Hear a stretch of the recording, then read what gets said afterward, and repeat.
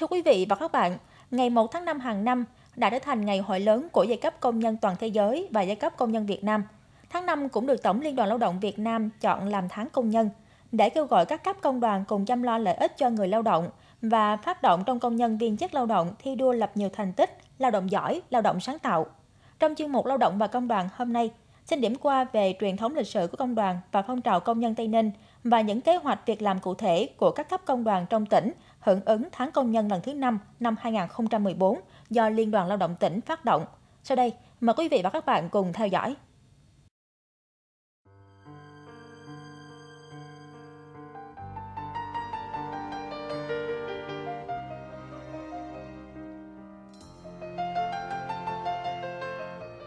Công đoàn Tây Ninh được ra đời, trưởng thành trong công cuộc đấu tranh chống thực dân Pháp và ngày càng phát huy được vai trò là lực lượng nòng cốt của mình trong giai đoạn đấu tranh chống đế quốc Mỹ và thời kỳ xây dựng đất nước.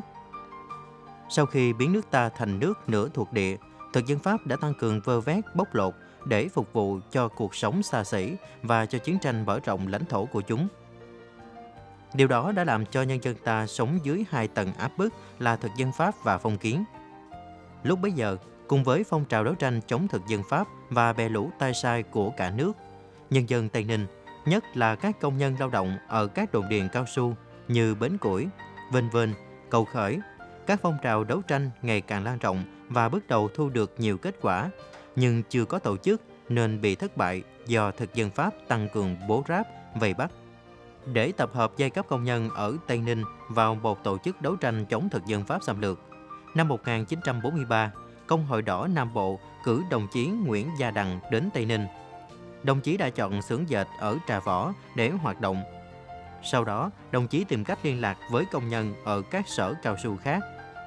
Năm 1944, đồng chí xây dựng được cơ sở ở cao su Bình Linh, Cầu Khởi, Bến Củi. Bên cạnh đó, phối hợp với mặt trận Việt Minh cử một số đồng chí đảng viên đi vào làm công nhân ở nhà máy đường, công nhân trồng mía và cả trong quân đội Pháp để tuyên truyền vận động.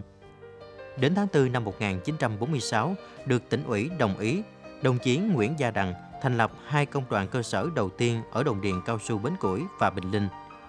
Đây là bước ngoặt của phong trào đấu tranh cách mạng ở địa phương, là hạt nhân lãnh đạo phong trào cách mạng của công nhân Tây Ninh.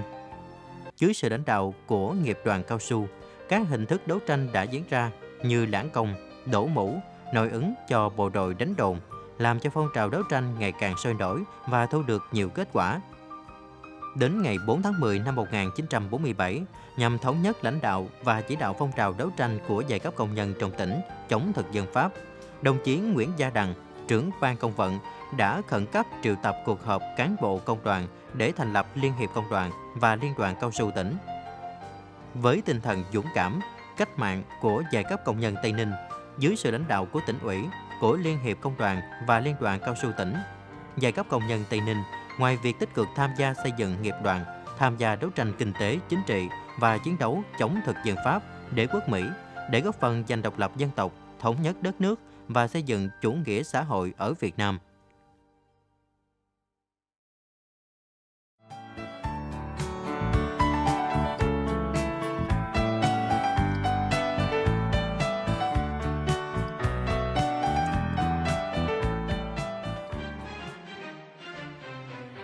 Công nhân lao động tỉnh nhà cùng với công nhân cả nước. Trong những năm qua đã có những chuyển biến quan trọng, tăng nhanh về số lượng, đa dạng về cơ cấu, chất lượng lao động ngày càng cao, đã phát huy vai trò của mình và có những đóng góp to lớn vào lĩnh vực hoạt động kinh tế của đất nước, góp phần thực hiện thắng lợi nghị quyết 20 của Hội nghị Trung ương 6 khóa 10 về tiếp tục xây dựng giai cấp công nhân Việt Nam, thời kỳ đẩy mạnh công nghiệp hóa, hiện đại hóa và tăng cường đẩy mạnh thực hiện học tập và làm theo tấm gương đạo đức, phong cách Hồ Chí Minh. Trong không khí cả nước hân hoan chào mừng kỷ niệm 39 năm ngày giải phóng miền Nam thống nhất đất nước và kỷ niệm 128 năm Ngày Quốc tế Lao động 1 tháng 5. Tháng Công nhân tỉnh Tây Ninh lần thứ 5 năm 2014 được Liên đoàn Lao động tỉnh tổ chức phát động vào chiều ngày 25 tháng 4 năm 2014 tại khu công nghiệp Trảng Bàng. Trong ngày lễ phát động, có trên 400 công nhân lao động ở các khu cụm công nghiệp trong tỉnh về dự và tham gia nhiều hoạt động văn hóa, thể thao vui tươi, sôi nổi như hội thi tiếng hát công nhân năm 2014, các trò chơi vận động như nhảy bao bố, kéo co, truyền tranh. Những hoạt động thể thao, trò chơi sôi nổi như thế này giúp cho tinh thần của các công nhân càng thêm phấn khởi hơn sau những giờ lao động trong phân xưởng. Tham gia các hoạt động trò chơi, thi đấu thể thao, các đội đã tham gia hết mình, cổ vũ hết mình. Tính đồng đội gắn kết nhau trong hoạt động thể thao vui chơi như giúp họ đoàn kết, gần gũi nhau hơn trong lao động sản xuất. Có lao động, có vui chơi, đoàn kết, giúp đỡ nhau trong lao động càng góp phần cho hiệu quả sản xuất tăng cao.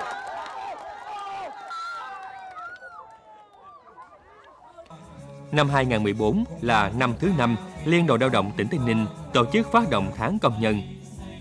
Đây là hoạt động mang ý nghĩa thiết thực nhằm vận động các tổ chức công đoàn, công nhân lao động trong tỉnh sôi nổi thi đua thực hiện nhiều công trình, sản phẩm và việc làm hữu ích, chăm lo tốt hơn nữa đời sống vật chất và tinh thần cho người lao động. Tháng công nhân năm 2014 được phát động với một số nội dung chủ yếu cần tập trung thực hiện như đẩy mạnh các hoạt động tuyên truyền, giáo dục trong đoàn viên, công chức, viên chức lao động, tập trung vào việc triển khai luật công đoàn và Bộ luật lao động sửa đổi năm 2012. Tổ chức thăm hỏi động viên công nhân lao động có hoàn cảnh đặc biệt khó khăn, công nhân lao động bị tai nạn lao động nặng, xét tặng máy ấm công đoàn cho đoàn viên công đoàn có hoàn cảnh đặc biệt khó khăn về nhà ở. Tổ chức các hoạt động văn hóa thể thao tại cơ sở, thu hút nhiều đoàn viên công chức viên chức lao động tham gia, gắn với việc biểu dương những tấm gương đoàn viên công đoàn trực tiếp lao động có thành tích xuất sắc trong năm 2013. Tổ chức các phong trào thi đua trong công nhân viên chức lao động, lập thành tích chào mừng đại hội lần thứ 11 Công đoàn Việt Nam và các ngày lễ lớn của đất nước. Kiểm tra, giám sát việc thực hiện giao kết hợp đồng lao động, các chế độ chính sách đối với công nhân viên chức lao động, tổ chức gặp gỡ, giao lưu đối thoại giữa lãnh đạo đảng, chính quyền các cấp, các chủ doanh nghiệp. Để hưởng ứng tháng công nhân lần thứ 5 năm 2014, Công đoàn các khu công nghiệp tỉnh Tây Ninh tăng cường chỉ đạo công đoàn cơ sở với những nội dung trọng tâm như thực hiện triển khai học tập về chính sách pháp luật lao động, tăng cường chăm lo đời sống vật chất tinh thần cho công nhân lao động, tổ chức kiểm tra, giám sát việc thực hiện pháp luật, chính sách liên quan đến quyền và lợi ích hợp pháp của công nhân lao động. Nhiều doanh nghiệp trong tỉnh đã quan tâm và chăm lo tốt đến đời sống công nhân lao động, nhất là trong dịp Tết Nguyên đán 2014 vừa qua. Ban giám đốc công ty đã xác định người lao động là nguồn lực không thể thiếu của doanh nghiệp. À, việc chăm lo đời sống cho người lao động là động lực giúp cho người lao động gắn bó lâu dài công ty, giúp cho công ty ngày càng phát triển. À, cụ thể là trong dịp Tết năm 2014 thì ban giám đốc công ty thống nhất cùng ban chấp hành công đoàn à, tổ chức à, phát lương thưởng theo đúng quy định. À, ngoài tiền thưởng tháng 13 thì ban giám đốc công ty còn trả cho người lao động thêm một tháng tiền thưởng chuyên cần. Em cảm nhận thấy rằng trong thời gian qua, ban chấp hành công đoàn cơ sở đã giúp đỡ cho tất cả đoàn viên công nhân lao động trong công ty về cả thể chất lẫn tinh thần. Cụ thể như là thăm hỏi, tổ chức thăm hỏi các dịp ốm đau. Ngoài ra, ban chấp hành công đoàn còn tổ chức phong trào phát quà sinh nhật cho các đoàn viên trong các ngày lễ sinh nhật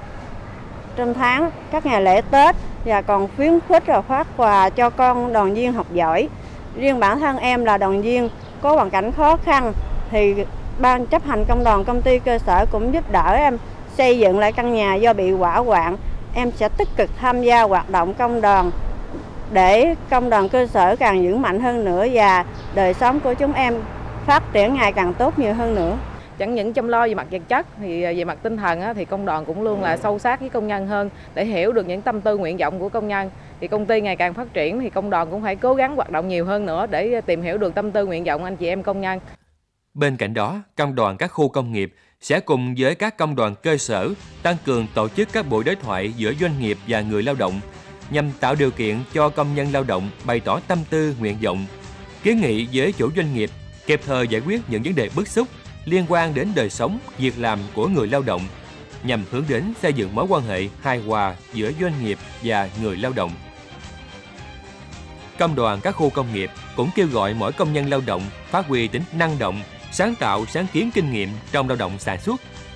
Qua đó sẽ thực hiện biểu dương và nhân rộng mô hình nhằm ghi nhận những đóng góp của cá nhân, tập thể, xây dựng tổ chức công đoàn ngày càng phát triển vững mạnh.